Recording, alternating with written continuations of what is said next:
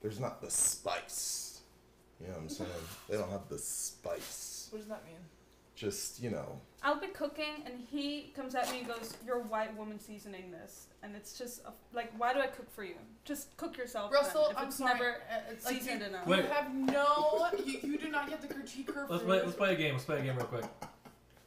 Okay, it- it's a raise your hand game. I don't want to Okay. play. I don't want to play. Raise your hand if you like white women.